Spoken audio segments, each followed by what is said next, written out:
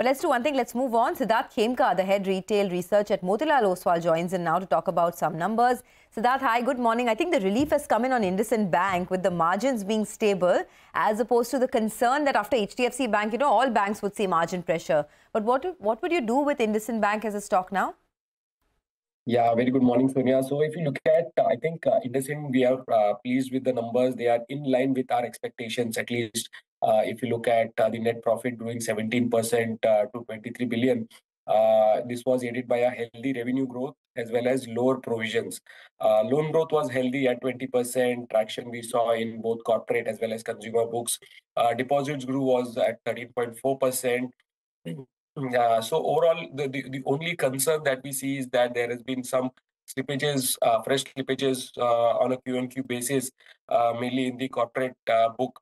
Uh, and that too, so, so, the overall corporate book slippages increased to 3.12 billion, and of that, 1.4 billion was put into one large account. And there is some concern on the elevated slippages from the vehicle finance book. But overall, we see that IndusInd continues to report a good inline performance, healthy NII growth, controlled provisions. Uh, asset quality remains uh, quite stable for them. And uh, we are expecting a good growth going forward, 21% earning growth over the next two years. ROE should, should improve. And uh, uh, the healthy provisioning in the MFI portfolio and moderation in the overall slippage run rate uh, should lead to a reduction in credit costs. So, so that should lead to uh, ROE of 16%. And uh, hence, we continue to be very positive on IndusInd. It is one of our preferred uh, picks Uh, within the uh, the, uh, the smaller private banks. Uh, we have a target price of 1900 and a buy rating on IndusInd. All right. so that stay with us. We'll come back to you for more. I want to get your views on Tata Communication as well, which has done well. But uh, Siddharth Khemka of Motilal Oswal is still with us. Siddharth, earlier we were talking about IndusInd Bank's, um, you know, positive performance. What about HDFC Bank? There was large delivery-based selling post the numbers, a lot of disappointment there. But for long-term investors, is this a good time to be buying HDFC Bank or are you cautious? So, uh, Sonia, if you look at HDFC, uh, I, the street's reaction is, uh, I, to some extent, you can say a bit exaggerated because the large holding uh, that the FIs and DIs have, uh, there is some concern in with regards to the NIM compression. Uh, the cost to income ratio has gone up definitely. the bigger concern is on the deposits growth. I think that is where the street is most concerned that if that doesn't pick up, the overall business growth could get hampered. And uh, if we have, what we have seen, the provisions which have uh, gone up, including the contingent provisions and uh, uh last quarter and as well as this quarter, the near-term expectation is not very strong from HDFC. Uh, having said that, you rightly said, if someone is looking at the longer-term picture, uh, the correction does offer a good entry opportunity, but just keeping in mind that one needs to buy this for not for the next uh, one or two quarters, but for at least two to three years. And things should improve uh, with the overall improvement uh, that uh, we are going to see in the overall credit growth in the in the uh, the, the, the, banking uh, business, and with the rate cuts that would be expected towards the later half of the year, that should help elevate some concerns on the NIMS, and that is where when I think the stock should start reacting positively. Mm. Uh, uh, do you look at Shalby? They've made an interesting acquisition of a hospital in Gurugram, a hospital which generates about 70% of its revenues from international, uh, you know, patients.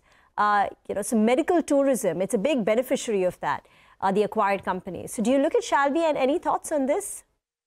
So, Reema, we don't look at uh, Shalby. We have not uh, covered that. We cover some of the larger ones like Indian Hotel, uh, sorry, uh, the uh, the Apollo hospitals, the Medanta and Max. Uh, so uh, within that, our so overall we are very positive on the the healthcare space. We believe that there is a good growth.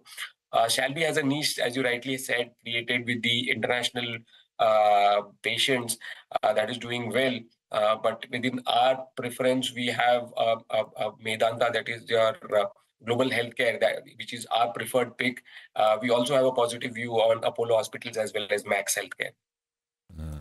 you know, by the way, the, uh, the pre-open is on uh, with us, and it's a strong start. I mean, it was just the first two minutes, so things will settle down. It won't be a 250 point higher start, but uh, should be decent.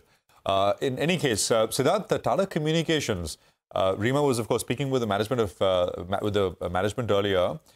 There is an upgrade from IIFL as well, and IIFL is saying that you know it should be it, it's a strong one, especially given the context where everybody else has been reporting weak numbers. Any thoughts, briefly? Yeah, yeah, Prashant. So I think uh, results have been much better than expectations. The good positive surprise was uh, the the EBITDA uh, improvement uh, in the uh, the subsidiary Kaleyra that they have acquired. We were expecting a marginal loss. Uh, they have reported a strong profitability on the EBITDA front, and with that, we have also upgraded the estimates. so we have raised our estimates to factor in the higher EBITDA run rate. I think numbers are better. Uh, the only thing is the stock has also run up and there is some growth visibility. The management has clearly said that they would be looking at growth. Uh, they have set a very uh, ambitious target uh, in terms of uh, the the next few years for the revenue. so they have a target of 280 billion rupees of revenue by 27 and which would be supported by both organic and inorganic initiatives. So some of these inorganic initi initiatives that is leading to a higher debt uh, plus a little bit uh, less in terms of growth visibility. But nonetheless, very strong numbers. Uh, stocks should react positively. Uh, we have a neutral rating right now, given that uh, the the valuations have a bit on the higher side, and we see limited room for upside, given the uh, the, the only uh, upside that we are looking is for improved growth visibility could be a vital for the re-rating of the stock from here as well. Siddharth, thank you very much uh, for joining in today.